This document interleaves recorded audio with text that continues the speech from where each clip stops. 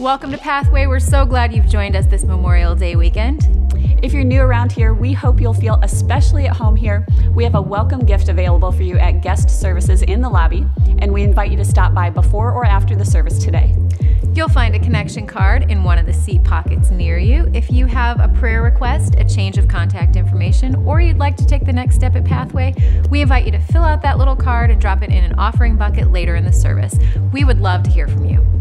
Also, in a seat pocket near you, you'll find a special series brochure.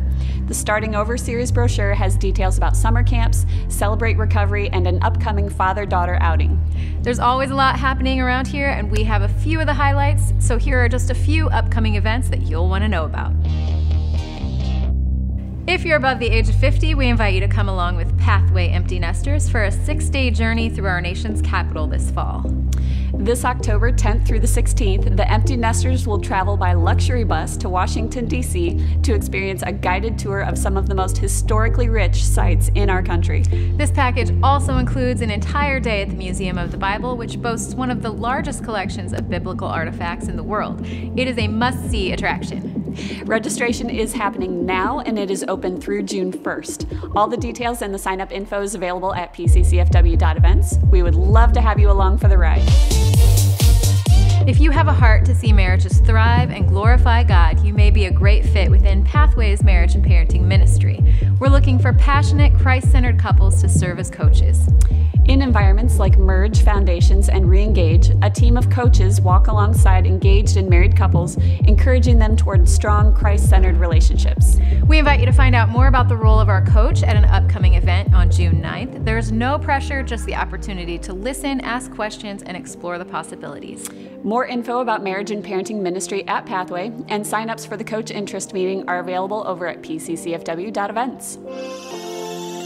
Our elders play a vital role in the leadership of our church. They uphold the integrity, vision, and mission of Pathway, and they hold the leaders and staff accountable to that mission. Our elders will be considering one or two additions to the elder team for 2020, and we are seeking nominations. If you're a member of Pathway, we invite you to prayerfully consider making a nomination. Nominees must also be a mem member of Pathway, and they should exhibit the qualities of an elder listed in 1 Timothy 3 and Titus chapter 1. Please ask the nominees permission before submitting their name. To make a nomination, please fill out the form on our website, on the PCC at Home app, or pick up a paper form at guest services in the lobby.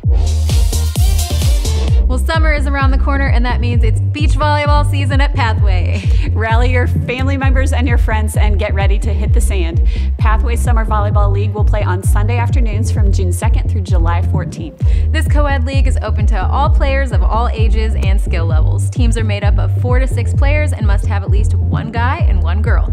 Start putting your team together and get registered at pccfw.events by May 26th. There's always a lot happening around here, so be sure to visit pccfw.events for the full list of everything that's coming up.